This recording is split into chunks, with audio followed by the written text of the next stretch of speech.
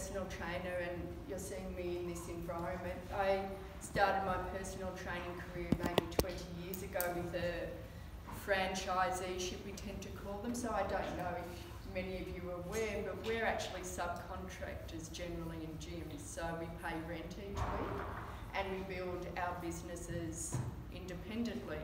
So I started with Fitness First in South Yarra and then I became a personal trainer out at Knox, so I live out this way. And then they changed me to Glen Waverley, so I was a personal training manager, sorry, at Knox and Glen Waverley and a bit of group fitness management. And then the gym went through a lot of changeovers and I went through a lot of redundancy rounds and there were takeovers and the third one they were actually taken over by Good Life and the people who own Good Life. And, uh, but I took my redundancy then and I went to teaching the fitness courses. So I was working for TAFE, teaching the certificate three and four in fitness and some courses in diplomas in sport and recreation and that sort of thing. So I'm a survivor in the fitness industry. Fortunately, my career's evolved and I've been had a good experience throughout this last 20 years doing what I love. So what I've noticed though, what I noticed when I was working with clients initially as a personal trainer, and I'm sure some of you in professions that require upskilling would know what I mean. When you have to do professional development, we'd have to do that very regularly and I'd learn and evolve all my training skills. But what I began to notice is it didn't matter what I knew if people didn't turn up. And it didn't matter what information I gave people if they didn't implement it. If I'd only see them for half an hour, an hour, a couple of times a week, it was very difficult, obviously, for me to do much more than make sure that session was what they needed at that point of time with their desired goal in mind. So what became most obvious to me is how people are in fact their own worst enemies and their self-talk. So I just hear the way that people would be talking about themselves and why they're not doing things that they feel they should be doing and why they are doing the things that they think they shouldn't be doing. And so I could see there was a real mismatch between people's intentions and their behaviours. And that kind of got me really curious. I worked out that the only way I could really have a more powerful contribution to the people I was in front of was to be able to get them to understand a little bit about their mindset as well and their motivators and what actually wasn't working for them. So we don't really need to know what is working for us if it's working for us. And I think relationships are a good example of that. We know what works in some relationships, the attraction, if it's in your work environment, what works, you do your job, you get paid, it's, you know, it works. It's only when things aren't working that we need to draw our attention to developing resources to how we can get the things working in our life that aren't working for. And so I started to study different things. So the first thing I actually did was neuro-linguistic programming, which I don't know if any of you know about that. Anyone who's been in sales, some levels of management, HR, it is actually understanding talk, language, our self-talk. And that was the most interesting thing because you learn about your own self-talk and language and I was immediately able to apply that with my clients because I would hear their self-talk and be able to do what we call reframing is sort of repeat what they're saying back to them in a way that actually shifts the energy to make it a positive statement rather than a negative statement. So an example of that would be, I, I guess what I go on a lot about is how I hate it when I, I do this sort of behaviour, for example. And so I would reframe that to something about along the lines of so you're actually looking forward to when you're going to find a strategy or be able to do something else instead of that that's going to bring you the energy that you want or the outcomes that you want. So you see from that statement that the language is very different. And energetically, even when I give these talks and I talk about this, when I make a negative statement, I can feel that energy sort of inhabit me. When I change that to a positive statement, I am looking forward to, it gives me somewhere to go. If I go about a task looking forward to the outcome rather than berating myself for what I'm not doing or haven't been doing properly, there's energy in that. So I just began to understand this, and then I was fortunate enough, I um, did my certificate four in hypnotherapy and then evolved that skill. I'm now a, a clinical hypnotherapist and psychotherapist and the NLP is combined in all of that. I've done more master training recently with Tad James, which if anyone knows this stuff, he's kind of the guy, except unfortunately he's not here anymore, but his wife does a lot of that, Adriana.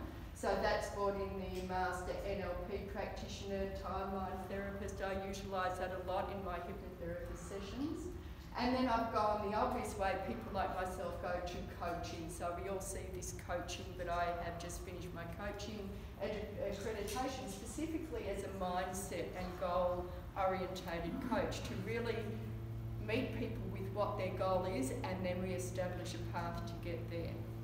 So this is why what I'm going to be speaking about today is of course in the gym environment I'm going to cover, and this is what this coloured sheet is, a bit about training and then I'm going to talk about mindset because uh, and as someone mentioned before, and as Avi mentioned, the doctor's saying about um, this type of diet not being sustainable, no diet is really sustainable when we're just focused on the weight loss element of it. When we can get our mindset in the right uh, place about what we're enjoying about the outcomes of a healthy lifestyle, then things are achievable. When we see it as a temporary means to an end, we always have a goal in mind, and when we get there, we blow out and we get in this up and down cycle. So we need big picture goals with this sort of thing. Um, I guess and I also have my businesses. Is that my time already? Is it so? Um, like I'm, what is that at the Oscars? yeah, but I'm getting finally get my time, and I'm getting. So also, so I set up my businesses along the way, Rejuvenate Hypnotherapy, and I run health retreats in Yarra Valley as well. So that's that one. So I'm just going to flick back to this. Uh, talk on fitness, and obviously I have a fair bit to say, so I'm going to try and condense it oops, as much as possible. Um, I do have the resources to send through, and obviously if you want me to expand on anything, we can discuss that a bit later. So this talk is predominantly, where it leads to is understanding high intensity interval training. and it, as I said, in the fitness industry for quite some time, and you would all know in the diet industry and in all areas of life, there's a bombardment of information. First it's this fad, then it's that fad, and it keeps changing and people finish up getting confused. The interesting thing was I was kind of around when this HIIT training came in, and it stayed because the science behind it is indisputable about how this is the most efficient way to get yourself fit fast. So this is all about training smarter, not harder.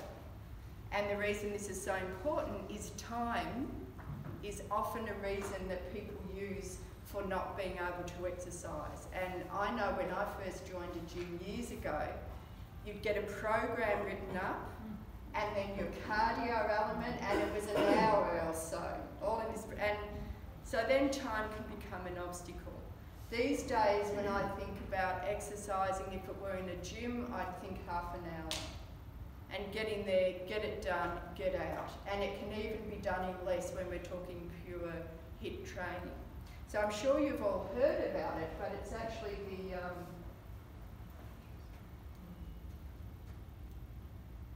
which direction? Oh, I haven't put the USB. So just while that's um, doing its thing. So when we talk about weight loss, people say, I want to lose weight. Now, when you work in the industry that I work in, actually, the language we use is we want to shift our body composition.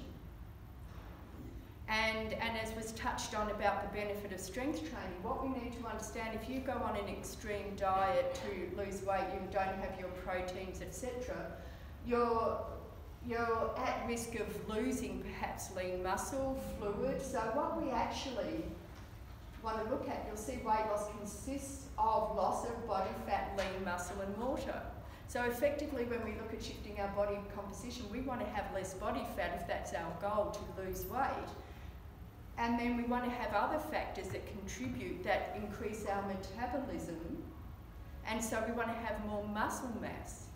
So we actually want to begin to shift the dynamic, and that takes us away from the language. And keep in mind, I'm obsessed by language.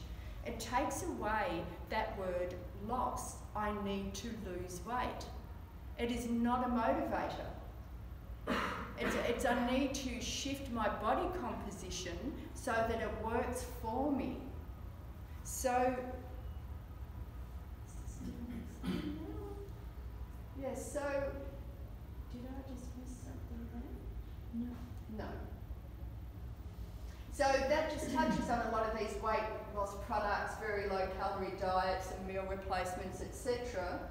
Um, they aren't necessarily just targeting fat loss. If they're not done intelligently, we can lose lean muscle mass, and I'll explain to you in a moment why that's an issue, outside of obvious reasons, of course. So, there's a bit of science here, but I find this knowledge is power. When people understand this, they understand that you can start just getting out and doing 10 minutes a day of something, and it is infinitely better than nothing.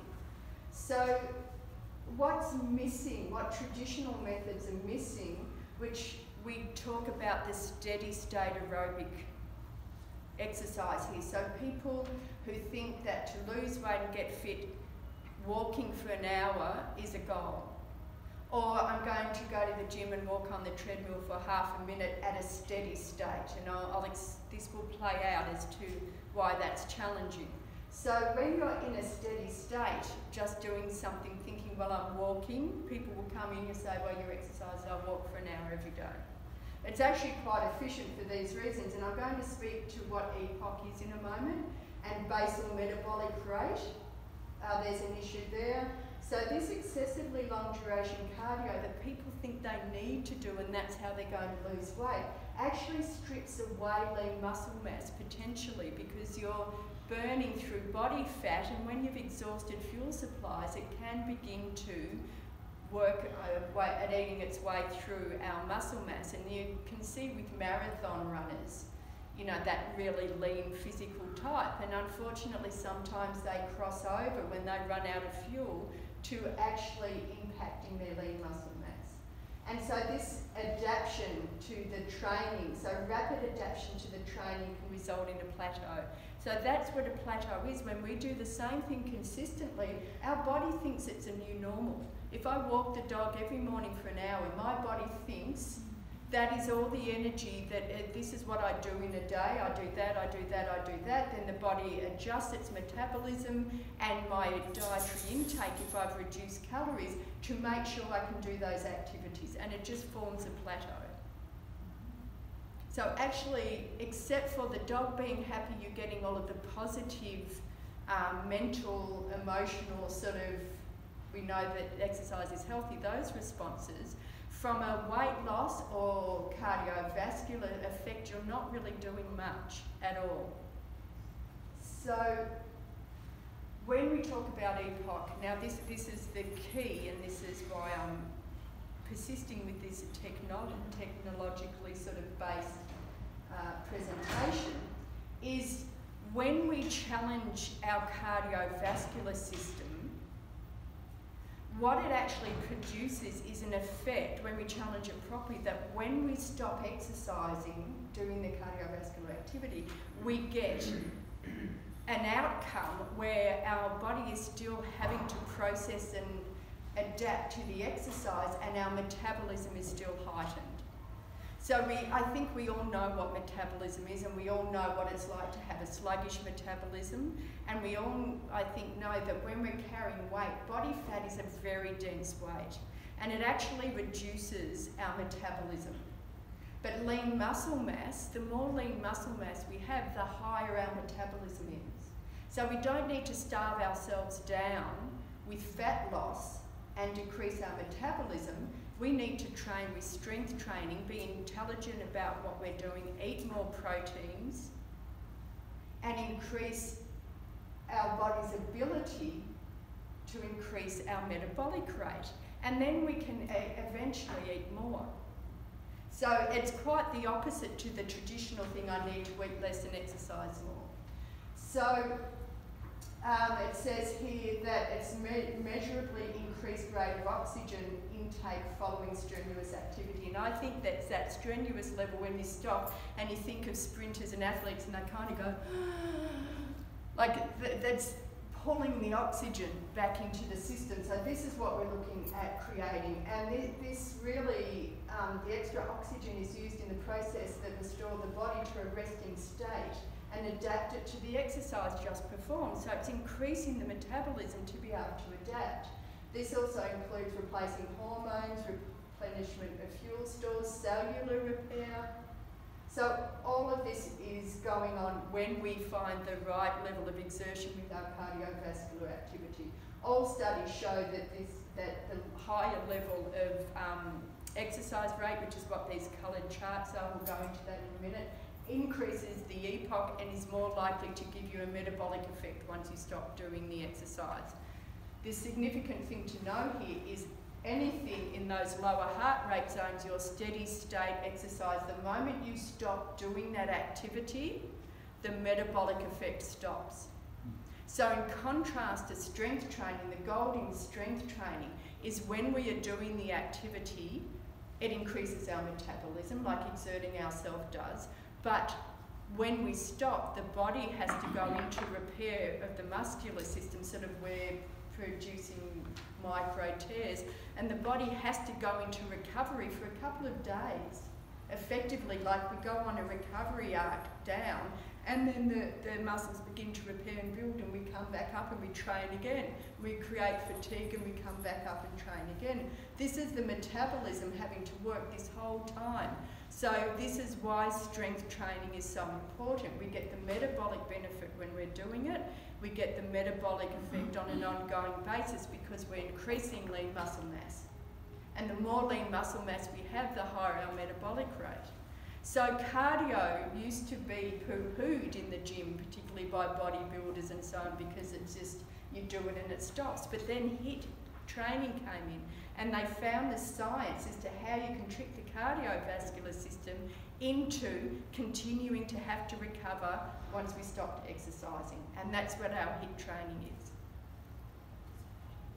So I think we know, I, I, think COVID was a good way I uh, could explain basal metabolic rate. Your basal metabolic rate is kind of the amount of energy you expend while you're at rest. So, you know, on our COVID days when we're indoors all day and, and working from home, it's sort of gauging about how many calories we're burning in a rested state before we do anything. That's and those new scales that you get, well, they're not new anymore, that you set up with your weight and your height and your age, they will run you through your body fat percentage and your basal metabolic rate. So they're a fairly good indicator. Um, so we say this aerobic fitness level, which is what I'll go into, this steady state, walking the dog, is a product of cardiovascular exercise, while previously thought to enhance basal metabolic rate, it's been shown in more recent research not really to contribute at all. And this is important to note. So also, what is happening, why people aren't getting results, is they're not reaching the intensity they need to, as I've been discussing. They do the same thing over and over again, so the body never has to adapt. And they can be too busy watching TV or talking on the phone, and this is why I thought I'll include this slide whilst exercising to actually focus on the intensity of their training. Um, so fat loss training is less about the amount of time devoted to the exercise and more about intensity. So if the intensity isn't there, the results won't be there either. Um, so keys for fat loss. We want to burn calories through metabolic disturbance. So by pushing ourselves beyond a prior limit. Raising basal metabolic rate can be responsible for up to 60 to 70% of calories burned per day. So we can become a lot more of a fat burning, calorie burning machine. And your fat loss training must promote maintenance or an increase in lean muscle mass. If we are losing lean muscle mass, we're chasing ourselves down because we have to starve ourselves to burn up energy. And then we can compromise lean muscle mass, our basal metabolic rate drops, and then we have to starve ourselves more. So it's the reverse of what we need to be doing. Um, so fat loss training rules. We must consider the calories burnt during and after the session, which is what I'm talking about with HIIT and strength training. We burn calories after the session because of the effect of these effects that I've explained. How? So, short periods of high intensity work interspersed by, with recovery periods, cycles of work rest, and this is where we're talking about high intensity work training. So here's some examples. So it's a strategy that's intended to improve performance with short training sessions. It's a form of cardiovascular exercise which is beneficial to burning fat in a short and intense workout. And the sessions range from, range from 15 to 30 minutes, so this is where they're time effective. When we're looking, so this is a time on, time off ratio, which I'll speak about, but what you're looking at, and for people who aren't a member of a gym, don't have cardio equipment, get yourself to the local park or a footy oval where it's soft because you, you want to be on a low impact surface. If we're, particularly if we're carrying excess weight and that's our motivation to exercise, the impact on the joints once we start moving quickly is infinite and it's potential to injury, of course, which is very common when people start, everyone, I want to lose weight, I've got to start running. And I mean, no, you need to start moving quickly, but running maybe make sure your body is adapted to that. So the time on time off ratios can be two to one in terms of, time. So for example, for a HIIT training session, it might be something like 60 seconds, just your light jog, then a 30 second sprint. So it's just getting your heart rate, your system warmed up, then something intense. Safe environments of bikes, cross trainers, rowing machines because there's no impact.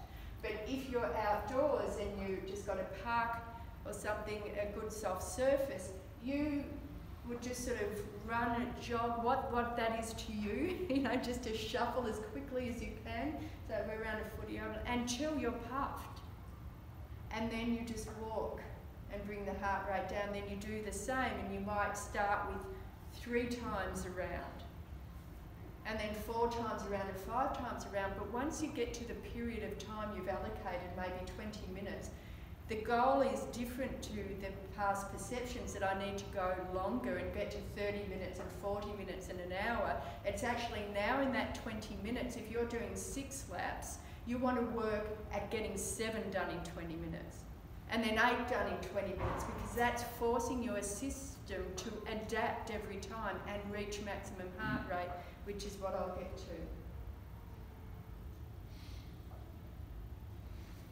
Studies have shown this method to be more effective at burning fat and maintaining or building muscle mass than high volume, lower intensity aerobic work does. One study demonstrated two and a half hours of sprint interval training produced a similar biomechanical, biochemical muscle charge changes to 10.5 hours of endurance training along with similar performance benefits. The BMR, the basal metabolic rate, is increased for the following 24 hours once we manage to get the intensity that has this EPOC effect, and it may improve our cardiovascular activity more effectively than doing only this traditional long cardio workout. So I think I've sort of gotten that point across. So this is what this handout is for you to take. Now we're looking at heart rate training zones here, and this is how you know when you get to that level you need to to create EPOC. You have to spike your heart rate to a certain level to force this recovery to occur. So on those sheets you'll see to calculate your maximum heart rate, the textbook sort of calculation is 220 minus your age. But that cheat sheet is a cheat sheet really because it's got your age up the top here and it's got the percentage of your maximum heart rate here. So this steady state we're talking about is generally in here.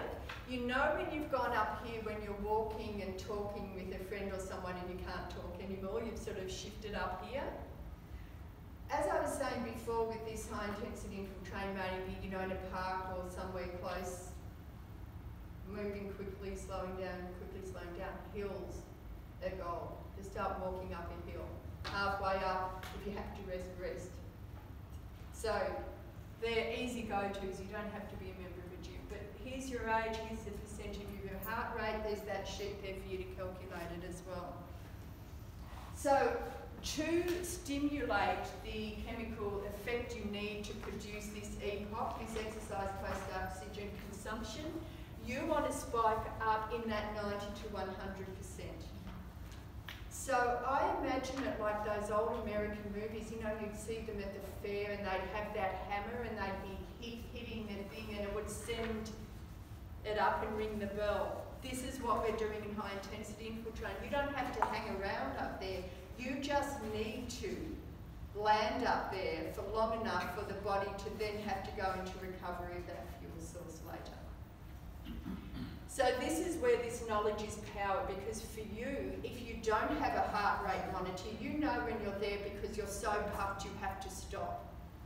And the liberating thing about understanding this is it gets us out of self-punishment because I used to think, and we all think we go to, as I said, run or do this intense exercise after not doing anything for ages.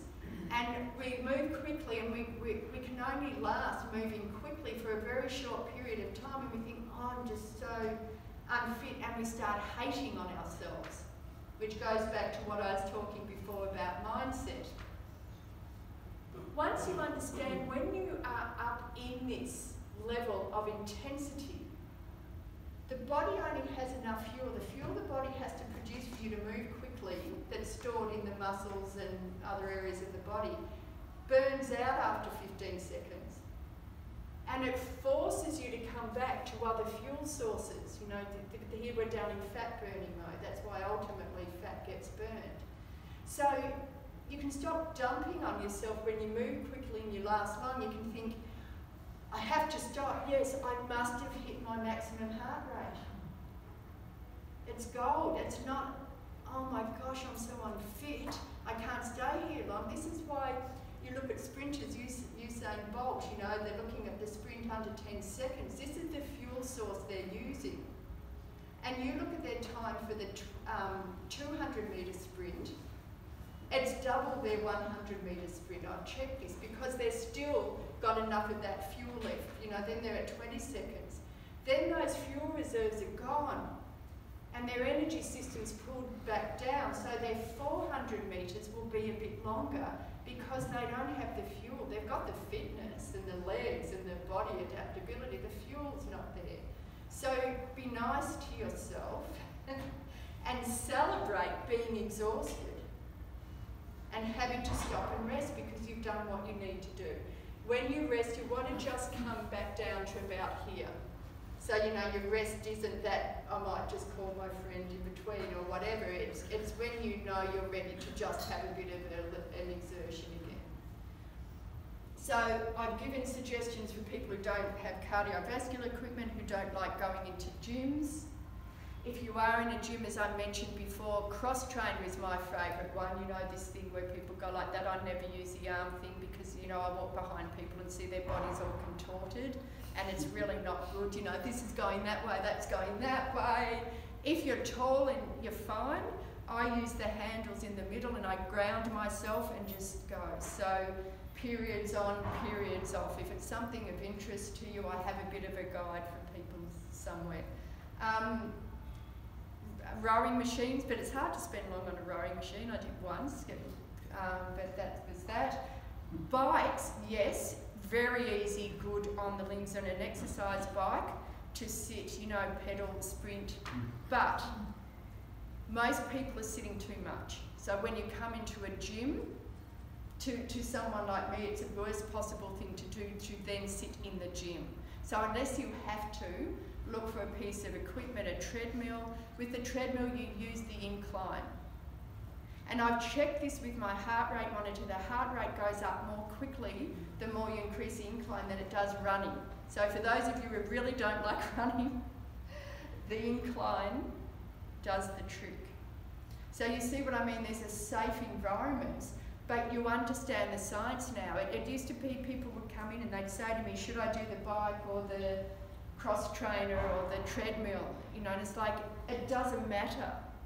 It's what your heart rate is doing.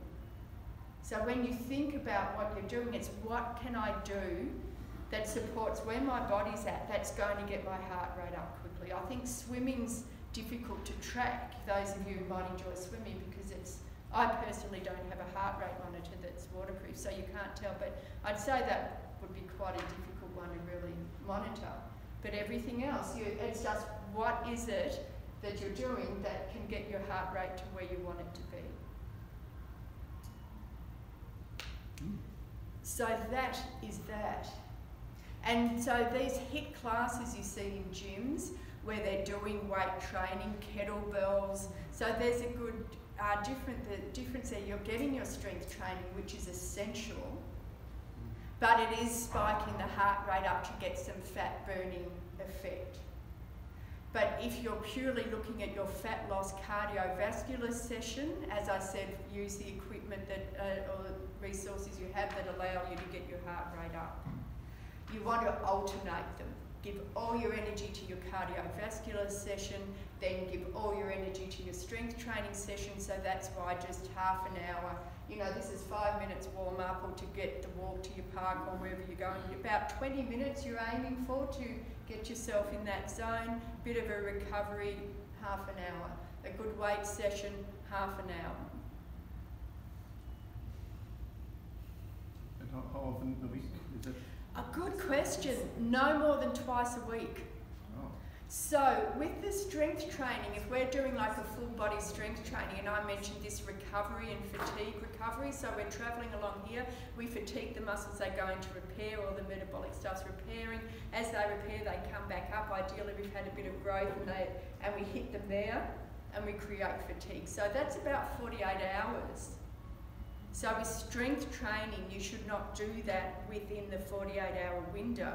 And they say a bit similarly for HIIT training because your metabolic effect is ongoing. So you want to hit any of your energy systems, whether it's strength, flexibility, cardiovascular, completely recovered from the last one, so you can hit it hard and fast and get on with the day. Mm. So this is the less is more theory. Guess uh, was talking before about, I think she was about, when you get to a certain age, 30, 40, you know, you- you're losing muscle mass anyway on a downward trend. So you're going to adapt this training as you're getting older. you- You're going to be focusing more on um, weight sort of training aspects. One hundred for mu- for percent. muscle Yes. uh, retention. Yes. And obviously, this all depends on your goals. And obviously, I'm speaking here to fat loss, and that's not everyone's goal. When you're talking strength training, and it's been evidence that you can. I mean, my goal when working with people with weight loss and introducing strength training is the base level is to not lose any muscle mass because it's going to take a while to be working at the level you need to to build muscle and the dietary elements. So not losing it is first goal. But for someone whose pure goal is strength training, you know about a month of adaptation, and then you should be able to move into the sets and reps and loads, and the nutrient balance that Mm. even as you age can Yeah. reverse some of those effects. I mean, being on keto, keto sort of low carb diet, you know, I, I personally have lost a lot of weight. So, but then you look at your body sort of profile, and it's you, you haven't got muscle mass. Exactly. You didn't, Yeah. you've lost a pile of weight. and You Yeah. feel better, but you're still not. Of, For longevity, and you know, Yeah. when you see the age people, and you know what disturbs me is the walkers. Mm. They're like this, and I mean, you know, my my parents, uh, my mum passed away last year, you know, so, um, but prior to that, even it was like a scene, and I said this to them, and I had a laugh at Fawlty Towers. Mm. You'd go around to visit, and Dad would be in the lounge, and she'd be bringing the tray in. And you know, it's beginning to sort of angle down this way, and you're just kind of sitting there thinking, well, I'm not going to jump in because they do this every day when you're not here. this, is, this is getting like a bit challenging. And as I said, it was really like that guy from Fawlty Towers, you know, the way, you know, and the, the whole system was just going this way. And it just, there's no reason why it needs to. Mm. You know, of course there's obvious effects of aging, but you, you move your body properly. Can it be reversed? What's that? This? Yes. Yeah. I mean, to a degree. So we utilise a lot of mobilisation, foam rolling. Uh, technically, the story is when we're working with posture is there's an opposite dynamic. Something's weak, something's tight. So people who begin to have these postural issues think they need to strengthen their back, do back strengthening exercises. The thing is, the opposing muscles in the front have become so tight, and if we've been sitting like this for 10 years before we've decided to do anything about it, it's going to take more than the odd trip in, in a gym doing an opening exercise because you'll wake up the next day and the muscles have pulled it back in. So myotherapists are really good at, at that, and um, they because just that sort of chronic condition, you're just doing what we would traditionally do, a sort of um, doorway stretch. You know, that's going to be not going to be enough uh, when we've got this chronic issue rolling in. So yin yoga, if any of you have got a yoga studio near you that does yin yoga, they work on lying on bolsters and opening up actually the fascia, which is the connective tissue around the muscles, and the next layer which releases. You know, if the muscles are tight, we do something, they get pulled back. If you play into the fascia, which the myotherapy, your deep tissue massage, yin yoga does, it allows those muscles to release. So we need to loosen what's tight and strengthen what's weak. So it's a twofold approach, and if you're committed to that, it is definitely doable. But as I said, when it's chronic, you need a myotherapist or someone, a deep remedial massage therapist to get in and help, and that's very unpleasant. I had my muscle here, the sternocleidomastoid, so forward head carriage, right? This that's we see now it's getting worse and worse.